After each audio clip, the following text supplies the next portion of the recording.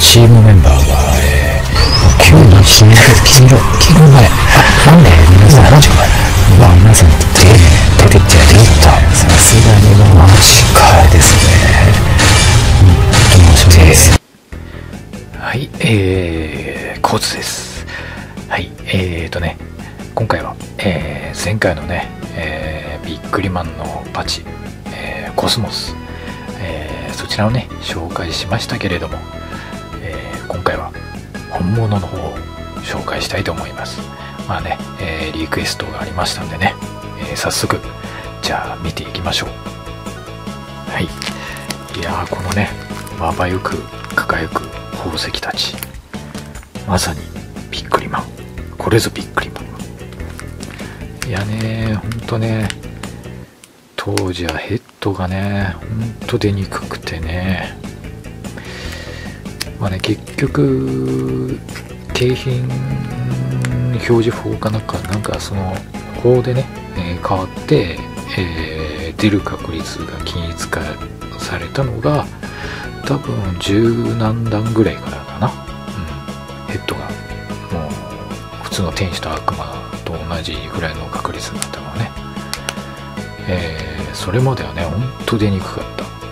1箱に1個入ってるかどうかぐらいだったんじゃないかな、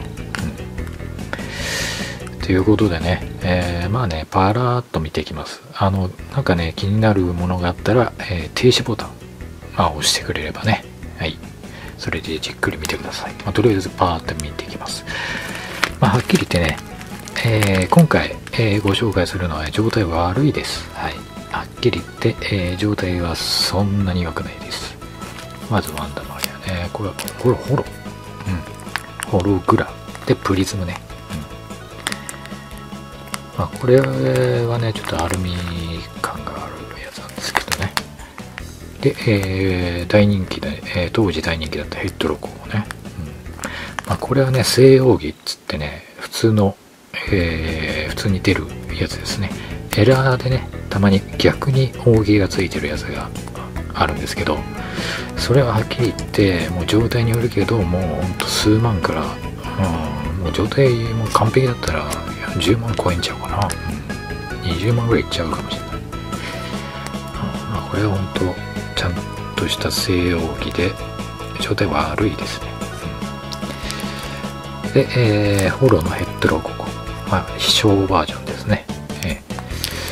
これははっきり言ってめちゃくちゃもうよ状態悪いですもうジャンク品ですねでアンドロゴコ、まあ、ここら辺はねまあね、えーまあ同一人物ですからね えーロゴコって書いてあるだけあって同一人物ですからで、大和爆死。これもホロですね。これはまあ、そこまで悪くはない。うん、まあ、むしろいい方かな。で、大和爆心タイプ2ですね。うん、これは突進してるやつですね。これも金アルミでね、えー結構ね、ボコボコ、えーしてるんですよね。うん、印刷名が。これがね、えー旧ビックリマンの特徴なんですけどね。ちょっと浮き出てる感じの印刷シルク印刷って言ったっけなうんこれはね今のビックリマンじゃちょっと再現できてないんですけどね、で、えーこれがもうプレミアがついちゃってるね。ブラックゼウスですね。まあこれもねまあ周辺にホロかけがねあります。はい。まあでもねえー、ホロってね、ほんと、劣化が激しいんですよ。なので、ブラックゼウスでもここまでぐらいだったら、はっきり言って、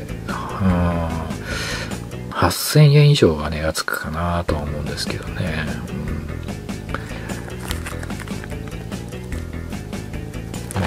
うんはい。で、えっ、と、次、えーネロマシン。うんネロマシンはね、これはね、えー銀色とあと青プリズムがあるんですけど青は私持ってないんですよね、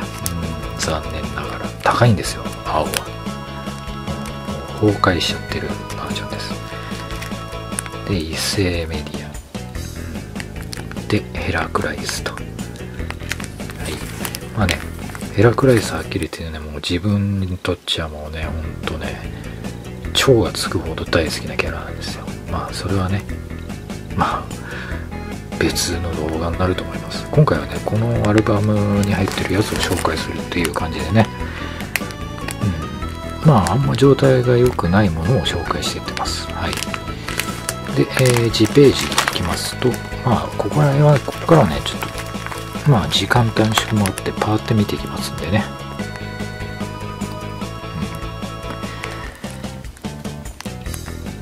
まあ、ここら辺も状態はやっぱそこまで良くないかな、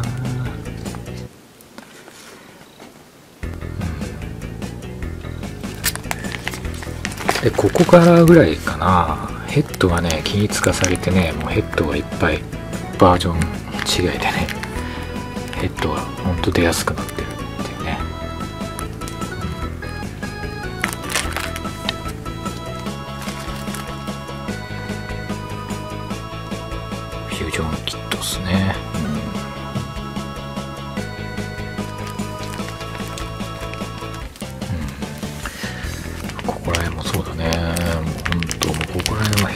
出やすくてねもう。こっからここら辺からねだんだんあのちょっとねあの購買意欲がね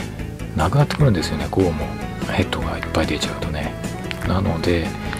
だいたい卒業したぐらいかなビックリマンをね、うん、もうだいたいここぐらいまでいっちゃうともうはっきり言ってもう当時買ってなかった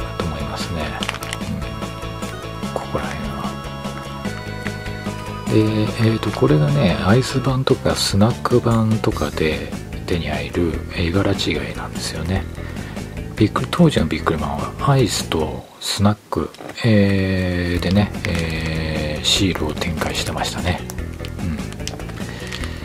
うん、なのでちょっと、えー、こうねヘッドロゴでもねポーズとかが違うやつを出したりとかね、うん、新しい展開をしてましたね。でラファエロココシバマリ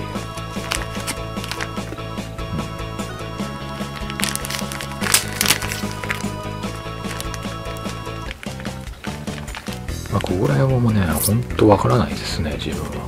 当時は本当知らないやつですね。あノアフォームはこれはスナックかなんかかな。はいですか。で、こっからはもう本当天使ですね。これはもう本当当時の、れとか第1弾ぐらいじゃなかったっけ？で、えー、もうね、皆さんご存知の十字架天使。これも当時もんですからね。はい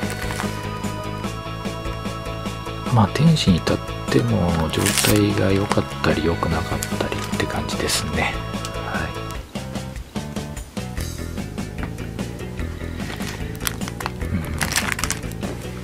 お守りお守りもねよく出たな。お守りもね天使はまだ良かったんですよね。お守りってすげえ微妙な位置関係だったよ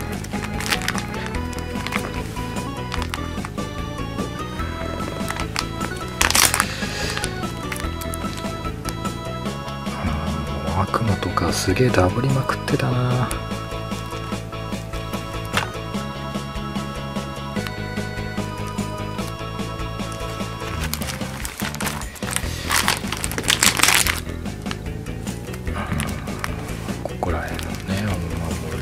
守り悪魔ここら辺はもうほんとパーって見ていきますんでねあのまあ画像とかもアップとかはできないんでまあ、もしね、あの、このキャラのアップ画像が見たいっていうのがあればコメントしてくれれば、えー、別日でね、えー、撮らせていただきます。おそらくね、あのー、天使とかでそこまでレアなやつはないと思います。はい。持ってないと思う。まあ、特にエラーエラー品とかそういうのもないと思いますねここら辺とかもうすごい劣化が激しいね、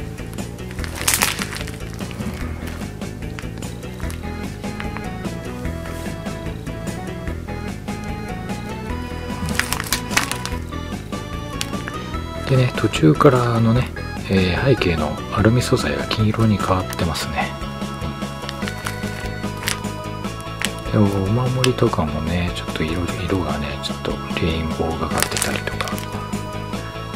だんだんとね変わってきますね。でこれが、えーもうほとんど主役級のキャラですね、えー七人帝っていうね、えー人帝と呼ばれてる、えー7人の、これがね人気があるキャラクターですね。でヤマトヤマトはねもうあの本当ヘッドまで、えー昇格したっていうねもうさ結構本当ピックルマンでいう本当主役かな？アニメだと主役だったかな？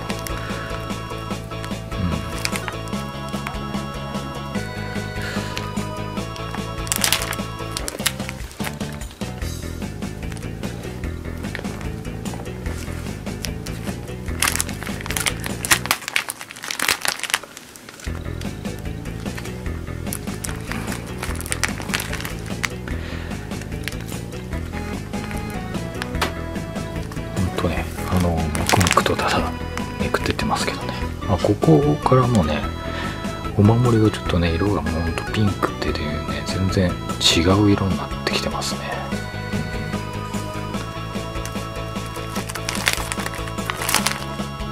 もうここに至ってはもう今度今度はあの黄色がかってますからね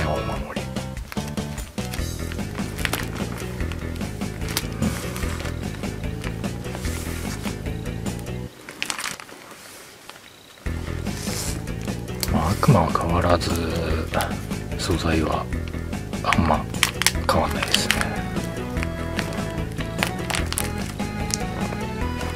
でここでまたお守りが今度また色が変わってますよね。茶色に。ほんとお守りがよく変わるね色このアルバム自体がねちょっと貼り付いて貼り貼り付きがすごいね。まあ、別のアルバムに入れ替えますけどね、まあ、はっきり言ってこれもうダントが、えー揃えて入れてないんで、えーもうめちゃくちゃですね。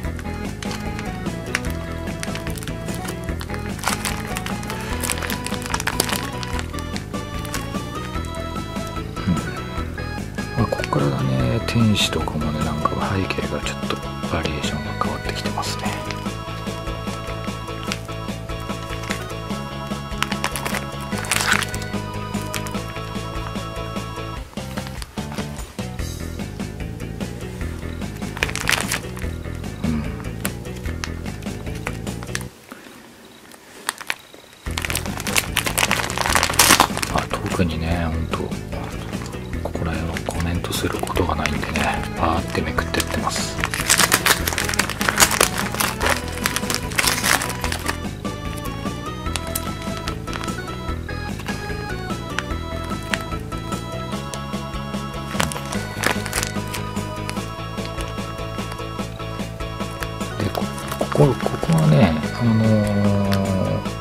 面白い感じでこうやって「Q」って書いてあるんですよね。はい。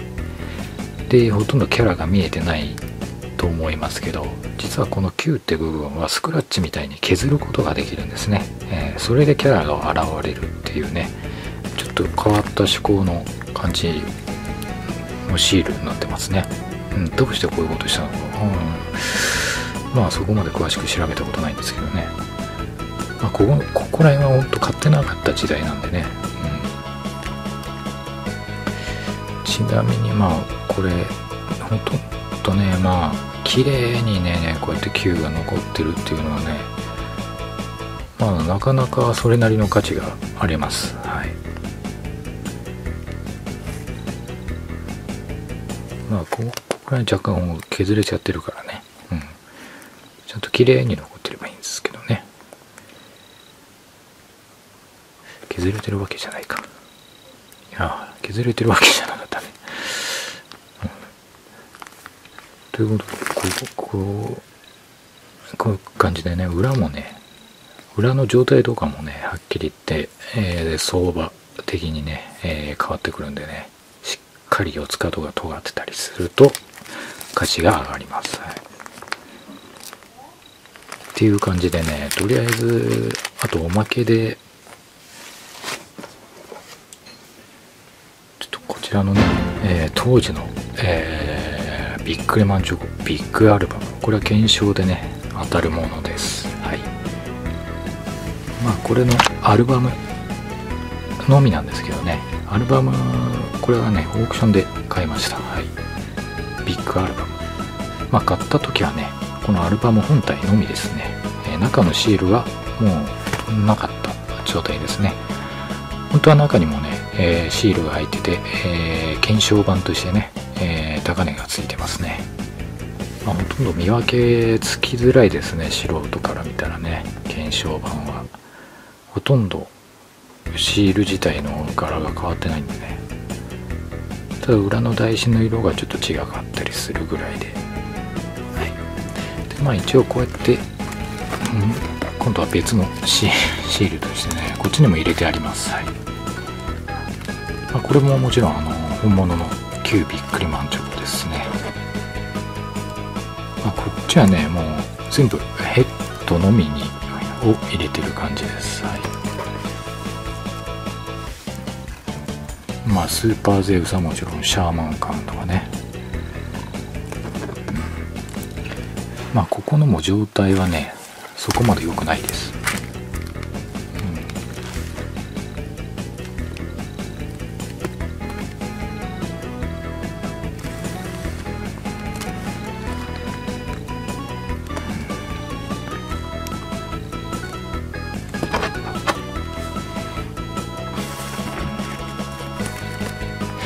っていう感じですね。一応このセントポンムガルに関してはあのまあこれの場合はミステリームガルなんですけどこれ2枚重ねって言ってねガムラツイストっていうね当時は、えー同時期に流行ったね、え2枚めくりのやつがあってねこれをペロッとめくるとこのセントポンムガルになるっていうね。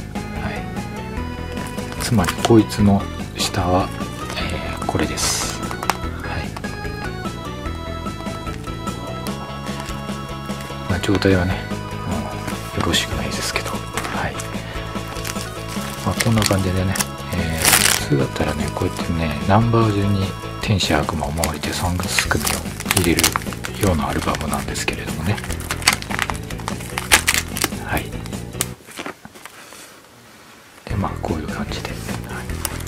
このアルバムに関してはね、えー当時のものとしてはあまあそこまで、えー激しい劣化はないかなと思います。はい、う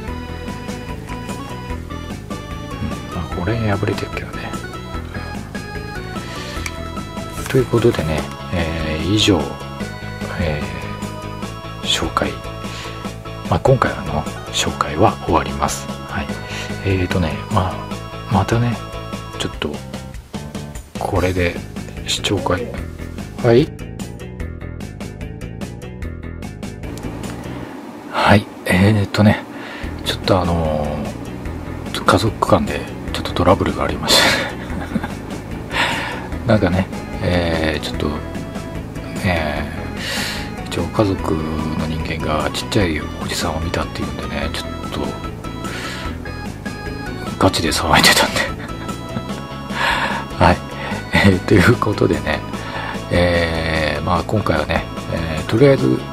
これにて終わりたいと思います。あのねえーまあ、ビックリマン世代の人は多分これを見てると思うんですよ。まあ昔のね。え前回のコスモスの時も多分同年齢ぐらいの人たちが見てくれたと思います、えこれを見てね懐かしさとかね、えそういうのがありましたら、えチャンネル登録してね、えーぜひいいねボタンを押してください、はい、それの数が多い分だけ私、えー他のビックリマン紹介したいと思います、えー一応ねこれごく一部です。私が持ってるねコレクションの。えーまあ、その中でも本当ジャブ程度ですこれは。一応ね、えー完品級と呼ばれてるね、えー、本当当時のままのぐらいのレベルのシール、えー結構持ってます。あとね、えーはっきり言ってなかなか手に入らない幻のシールとかね、まあ、そこら辺もね、えー持ってますんでね。それも紹介していけたらと思うんでね、まあ、ぜひほんとねいいねボタン押してください。まあね悪いねボタンがね、えー上回ったら、えーもう今後一切ビックリマン紹介しません。はい、えーということでね、え今回は以上になります。